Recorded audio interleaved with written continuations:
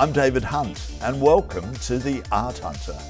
My guest today creates these visual worlds that inhabit painting, digital, and creates beauty within myth- mythological odysseys. His love of spray painting headed him into the world of graffiti mo- movement, which we'll talk about that a little bit later, with him being the first graffiti artist to paint at the NGV. Well, big deal. A huge art piece in the foyer of the W Hotel um, puts him at the top of his game. Hello. What's Yeah. your name? Rus, isn't it? Rus, yeah. Uh, and now Hi, we know David. each other because we're um, We your your gallery and um, workspace is around the corner uh, from where I live, and I walk past your Yeah. studio every day. We're locals. We're locals. We Started to hang out. Yeah. Which is, as we've both spoken about, which is, you know, lovely. Yeah, at, at getting to know each other, getting Yeah. to know each other. All right, so you started off uh, as a graffiti artist. Yep. Was was that that your first foray into the art world? No, definitely not. I was really into art from a young age. Like I was drawing a lot when I was four at my nana's place. Okay. She, she really. was she an artist or She wasn't. She just facilitated that. Somehow she knew. that know? you had that creative? How Yeah. lovely! How Yeah. lovely that I used to you knit had with her. Right. Even when I was young, like Right. make little. Um, I love re- like um, reptiles and amphibians. Yeah. So I used to make lizards with her. Yeah. Like knit lizards. knit knit them. Yeah. C- Can you still knit? Do you? No, I haven't it? knit since. Right. Yeah, she yeah. Okay. So I was always making art at her place. Um, I've still got a few that yeah. The bits from from that Yeah. era. When I Fantastic. was four, like signed with her handwriting. Wow. Wow. And is she still around or not? No. But did she see heaven. you as an artist? You know, any of your work? No, not. She passed away unfortunately in 1996, just before I went to art school. Uh huh. Yeah. Oh, that's a shame that she Yeah. didn't realise that. Um, you know what's going to happen to you. Yeah. Yeah. Yeah, I would have loved to seen. Yeah. Now you you gave um, up everything. You know, like you sold your car and everything to go overseas with a friend on a whim, Ah, and you went to uh, Central America and Egypt. Did, and that reflects a lot in what what you do as an artist. Um, has it? Yeah, big time. Because I was, you know, like when you grow up in the suburbs in, you know, like a Western country, like I was kind of just influenced by um, popular culture, like skateboarding culture and comic culture, and you know, underground artists like Vaughn Bodē, who's a kind of an icon in the graffiti world. Yep. So that was all I kind of like pictorially and you know more than just visually, but that's what I, energetically what I was into until I went to Central America with Peter Daverington, who was like a really close friend, Uh-huh. a painter from Melbourne who's now based in New York. Wow. Yeah, and then Do you have contact with him still, Rus? yeah, he was yeah he stayed. Uh, he had a show in um, Arc just recently. Okay. So yeah, he, he stayed at my place for Right. few nights, which was great. Fantastic. Yeah. And is he forging a career? Um, you Yeah, know, like yeah, America? he's he's extraordinary. Like, Right. Check, I'll plug Pete because I just have so much respect for him. He's had like twenty five, more than twenty five solo shows for the last quarter of a century. Wow. Yeah. Wow. Like one every year plus some in Europe. and- Right. yeah. Okay, so so back to you. Yeah. like, back to you. It's all about Yeah. you it's today. about me. Um, so uh, you're like you were influenced by um, Yeah. Central America. Yeah. Yeah, going to like, I went to the Anthropological Museum and yeah, it was like overwhelming. Um, yeah, I just remember going back to my hostel and I was like not hallucinating, but I was just on fire. Like I just couldn't believe Wow, it. It was, it just, yeah, like that Aztec calendar, that famous kind of um, circular piece that a lot of people know. That's the most, but just the figurines and yeah, you know, the the Mayan codices. That's what inspired my digital work when I went to VCA Yeah. and started doing these long linear, um, this analog uh, initially, but it was inspired by the format of the the codices. So. Um, But but you you you're sort of a bit of a contradiction to yourself so much. You know, like digital spray painting. Um, you know, like you do collage as well a lot. Um, know, like I, I love the way you mix it, but it's all related, isn't it? Yeah, no, I am, and so yeah, totally. Even with my paintings, sometimes they're like meticulously planned, and then I'll go the the polar opposite, and there'll be no planning whatsoever. And then yeah, but I kind of I don't know. I, obviously, I know there's a difference between digital and painting. There's a huge difference, but I it just like kind of not art fitness, but I just started working. You know, when you if I wasn't making things, I'd be document documenting work or even just like bits of paper, scanning them and storing them, and then keeping the actual bits of paper Yeah. that weren't kind of like finished artwork. Yeah. I was just like, I don't know, kind of not meticulous, but like I'd just keep everything, and then I'd record images. Then I'd just bounce between the digital space and the painting space. Like I might print something on a, you know, like a, a photocopy image or something. Yeah. Stick that up in the studio, draw over that, rescan that. Then that would come into a digital work, and then I might play in that space for a while, or simultaneous to, you know, making traditional work with traditional media like drawing and painting, and then I might, you know, take that out and then paint a section of that, or so I just, you know, come in, come, come in and out of these spaces, Yeah. which now has been like 20 years, you know. Right. Uh, but you, the the whole graffiti thing, and I and I said, "Oh, street art," and you went, "No, it was more graffiti." Um, you're like, what was the interest there? And uh, of course, it's Yeah. very similar to what you're doing now.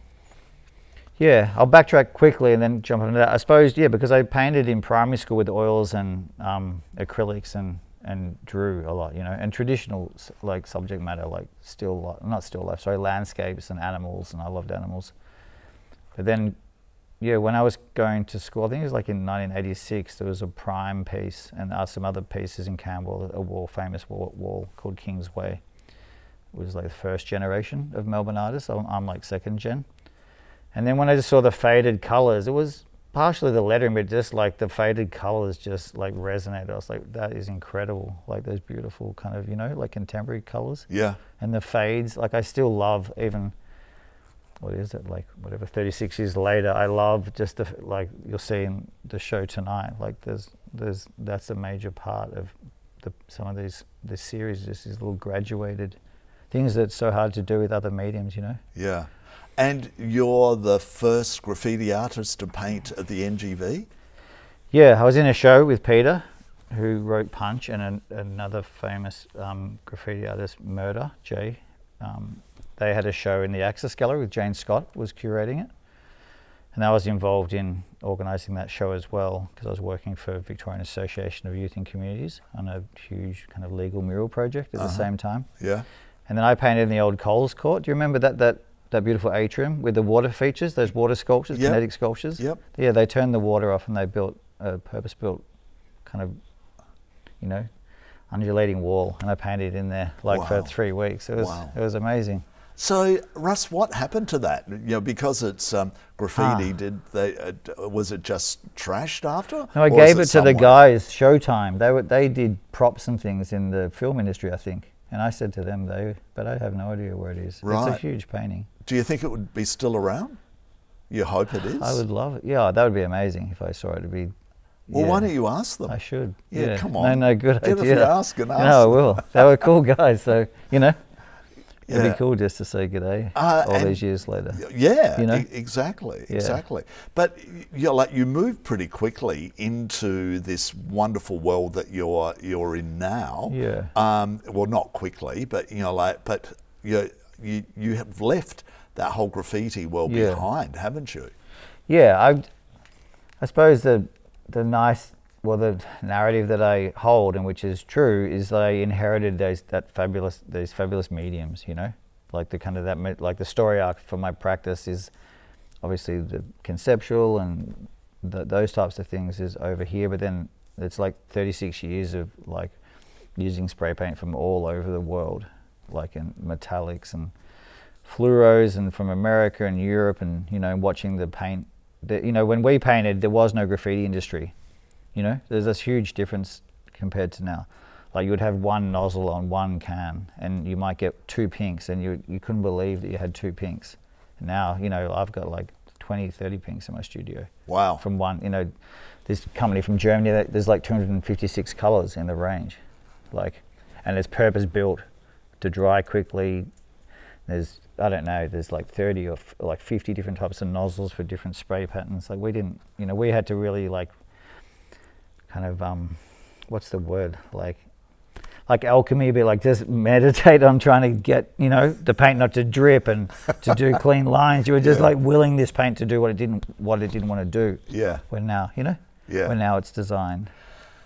So, but what you're doing now is so different. There's a collage piece uh, over your shoulder uh, that uh, you, you've you've done a brilliant piece of it on the back Yeah, of a skateboard, yeah.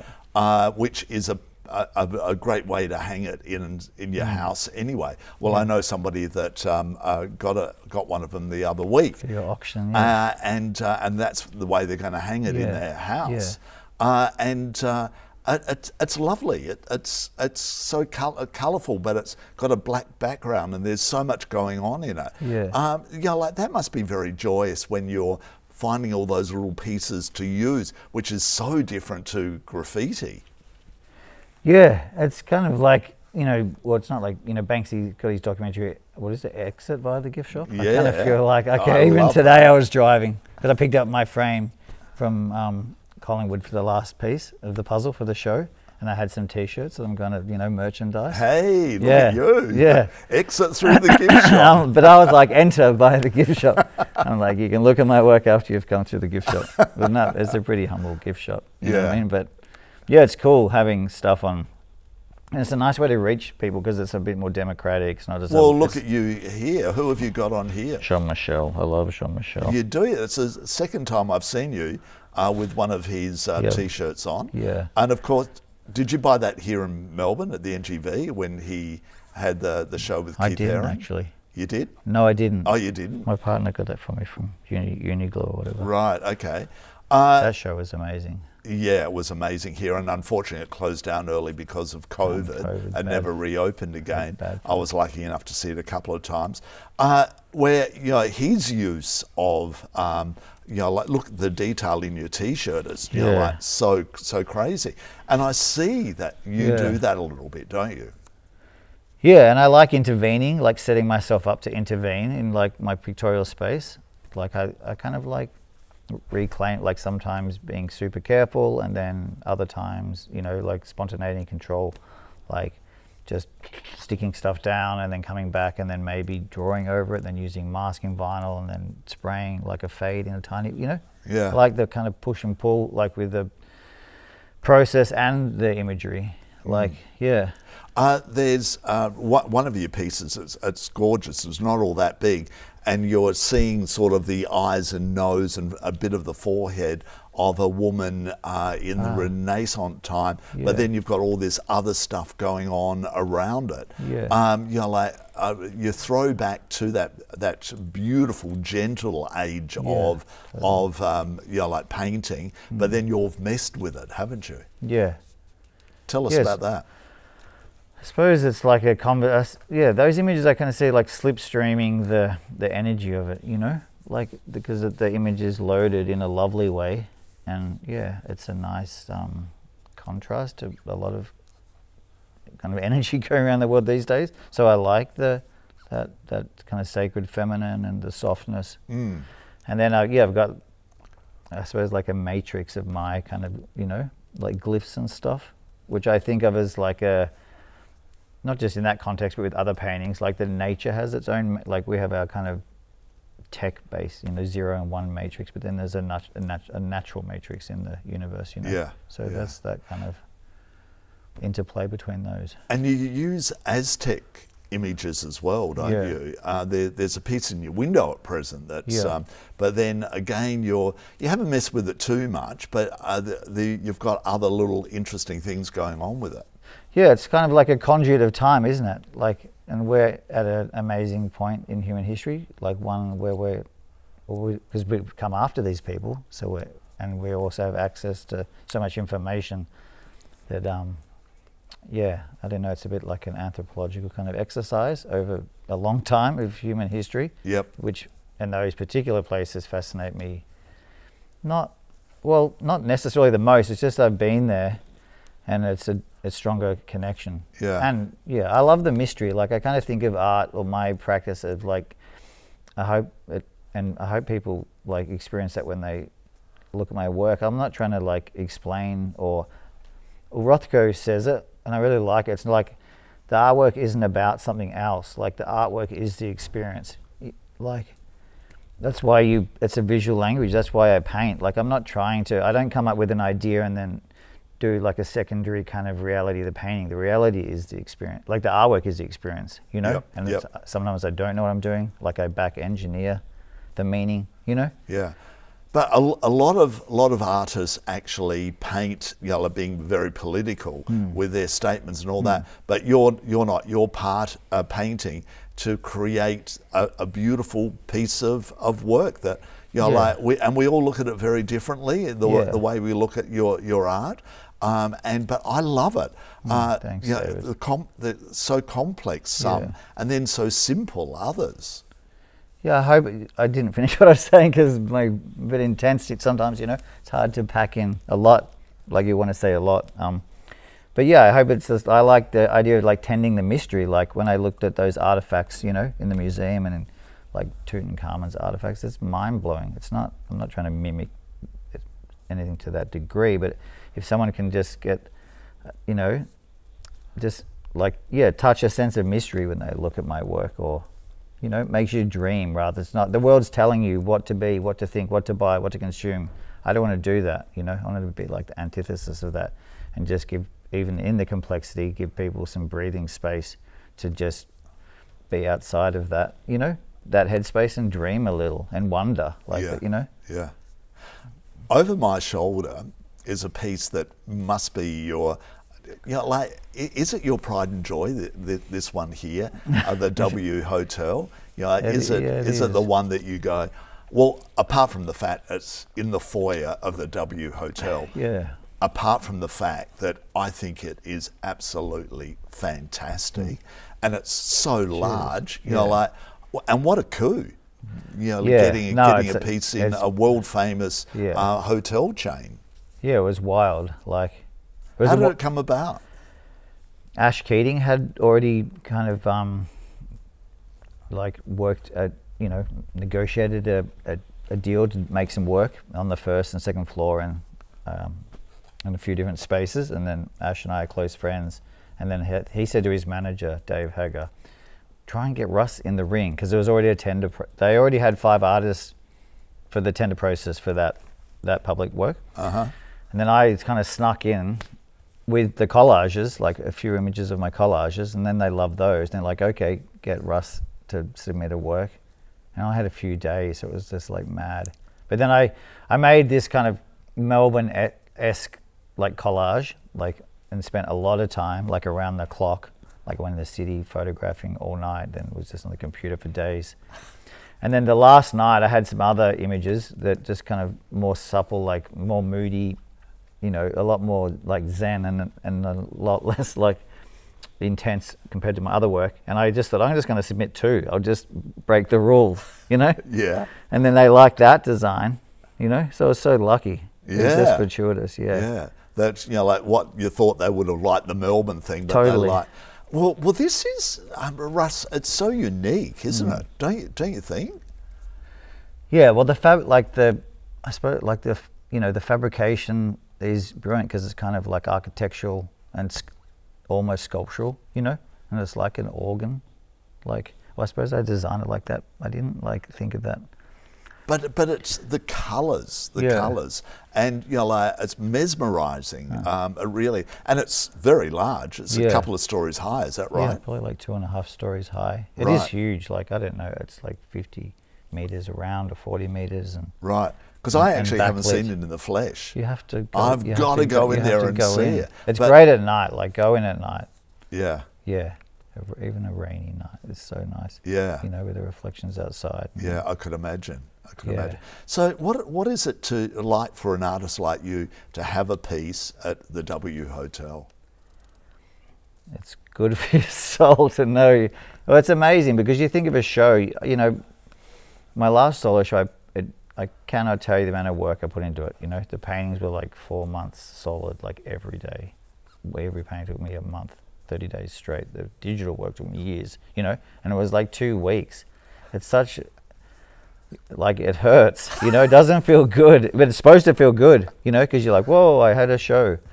So that is luxurious, you know, to have work every day, 24 hours a day. Even for a month, that would be incredible. Yeah. So does Well, that put it in context? Well, you know what, what I mean? well, what is what is that saying to you? That maybe you should, Do more public commission. yeah, and leave it to the last minute to do it. Yeah. so that well, that's what I've done a- for our show, for Yeah. your show. Well, um, You know? yeah, like your when you say our show, what you're talking about, uh, the art hunter is am. doing a portrait walk with um, exactly. there's four artists involved, and you're one of the artists Yeah. that I've I've chosen to be part of it. Yeah. Uh, and how much of a challenge has that been? Uh, because by the time this um, goes to air, um, I will be coming to an end. Yeah. But what, what's it been like for you to be part of? With your own gallery and Yeah. your own art space, to be part of a, an exhibition like this. Yeah, it's amazing on heaps of levels. Like, so I'll unpack it a little bit. It's great to connect more with, you know, like Peter, and I've never, you know, met Marie, like other people in. And, and you're the only one uh, Yeah. now, uh, that hasn't done an art hunter interview. Yeah, the other okay, three now, I've see, done. now I'm in the click just in time. Hey, just in everything's time. like the 11th hour with this show. and, you know, with Enzo, I already know Enzo and she's lovely. We have a, a cool relationship. It's nice to grow these relationships. It's nice to, you know, with COVID, to be out doing something, but then also still staying local. Yep. Like I'm not thinking about the gallery scene, you know, in Melbourne or elsewhere. Um, the deadline is fabulous. Thank you so much. You got me going. no, but you made me flip my whole space for the first time since I opened early this year, Yeah. which is still happening as we are talking here. You've got a friend out Yeah, there doing to- something that totally, you're so- not that you're so you Yeah. can be here. Uh, I, well, I'm pleased, Yeah. because that was the idea of of me organising this um, exhibition. Yeah. Um, you know, like involving all local um, artists and galleries. Yeah. Uh, you know, like uh, to I'm here to help. That, That's Yeah. what I'm here for. But I also Yeah, want to talk about um, uh, a carpet that you had on your wall, which Ah. was pretty specky. Uh, tell tell our viewers I- what, did what I- it's all about. No, it's not here. Um, yeah, there's a few printers in the world that can print on um, these synthetic carpets, and it was based on one of my collages that was the was in my last solo show and one I have in the window. But yeah, it's three by two meters, um, and yeah, and it just yeah, I love that carpet. Like you try so many things, and you do. You know, it's a long road making art, and then But it's always a, a challenge. It's always you, Yeah. you'll always come up with a new idea as you Yeah. as you work along your. You know, Yeah. like all, all the you know, like you look back in history, and Yeah. a lot of um, the the famous artists really changed along the way, and it would be sad if you didn't. yeah, hundred percent. Yeah. Yeah, it's great. Like, you just, I don't know, but your own kind of program, aren't you? You know, like your morphing creative kind of program where you just keep changing. Yeah, the carpet looked in- incredible. Like, it just kind of translated that work so well. The threads are, look look almost a bit like pixels, like the because you know, and synthetic carpet's uniform Yep. because it's it's not they're not there's no um, variation. So And- that's like a bit like a screen with its pixels. Yeah, and you you thought that this was just going to be a centerpiece that would probably sit there for a few years or Yeah. something on, on your wall in, in your gallery. Yeah. And what happened? Well, a local gentleman came in and um, with his dog, and then he was like, "How much for the carpet?" And then gave him the price, and then he said, "Would you, were you flexible?" And I gave him a slightly cheaper price that I was still super happy with. He goes, "Cool, I'm just gonna go and you know ask my partner."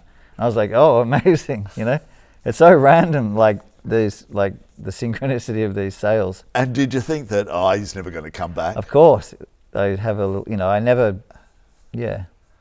And then, and, he and came then he came back that afternoon. He said he would come back the next week, and then, but I was like busy working, and then I didn't recognize him momentarily. And then he's Rus, I'll take it. I was like, oh, amazing. Go- Wow. yeah.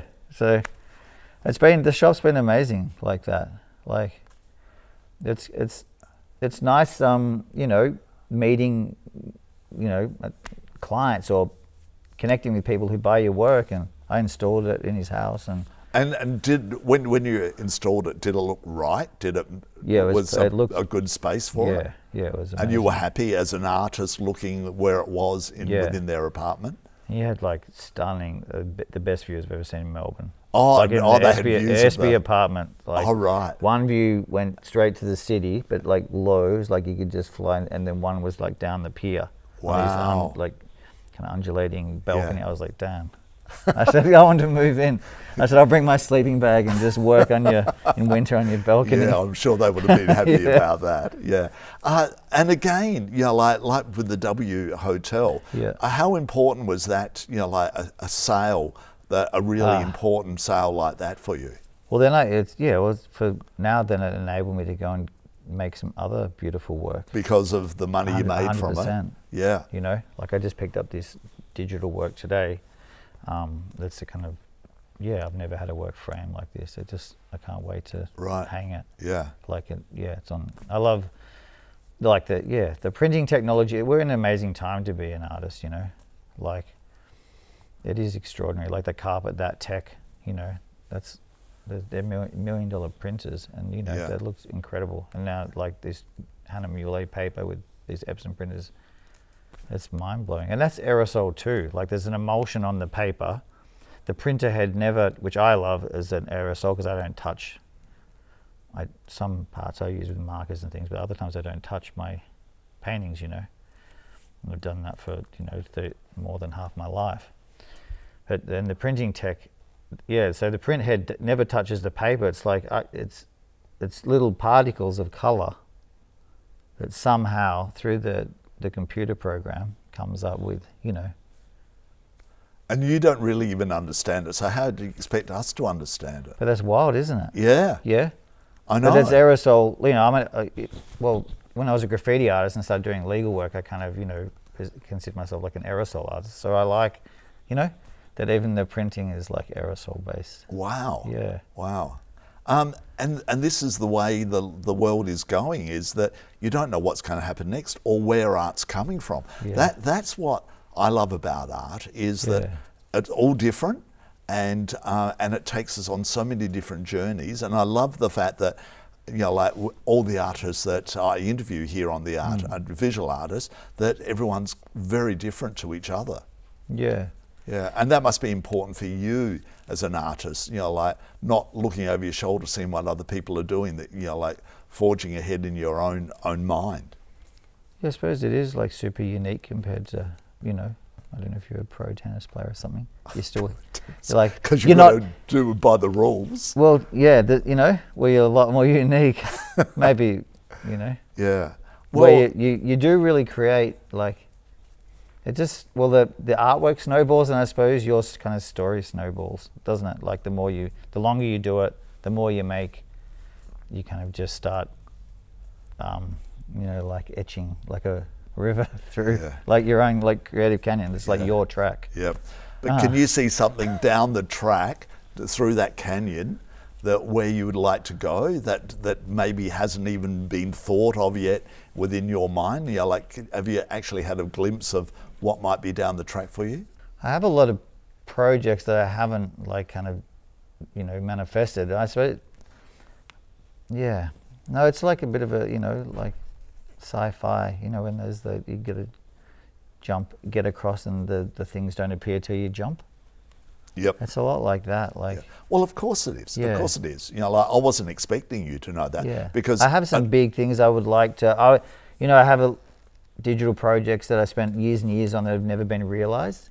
So, I dream about, you know, in what what scope I would realize. Yeah. that, you know. But in the next year or even six Yeah. months or something like that, a thought pattern will happen. And you go, Yeah. well, that will take me into another. Yeah, totally. Yeah. Well, like this show, like just the fact that it was on, then it just yeah, like bloop, bloop, like you know, started designing till late at night and making new work and then trialing things Yeah. and then you know, then I was like made this series of paintings that I would never have made. And and the interesting thing is that I actually asked you if you'd be interested at a, another little gallery um, opening, Yeah. and uh, and you just Ah. went, yeah. Yeah. Uh, At- and at I went, Bronix oh, okay. You know, like it was that simple. Yeah. And all of a sudden, uh, our paths uh, parted. Yeah. And um, uh, and next minute, you're you're part of it. Yeah. And now you're cursing me. No, no, not at all. Not cursing. I would two days ago, I was semi. Some you do question. You think, oh, this is a bit crazy. You know? Yeah. There's always moments. But but you push. But then yourself. I love it too much. Yeah. Yeah. You, you pushed, Yeah. pushed yourself, which is wonderful. Yeah. I Yeah. like. Yeah. Well, good luck with it. Thanks, David. Um, thanks, and thanks by the so time much. this goes to air, um, Yeah. you'll be a superstar. Everyone in the world will know who you are. You won't be able I'll to walk take you out for street. drinks. And, Hey, yeah, sounds yeah, good to me. Sounds yeah, good to sounds me. good. Rus, thanks so much Thanks for so much, talking David. with us Lovely today. chatting with you. Thank you. I'm David Hunt. This is The Art Hunter, and we'll see you again real soon. Bye.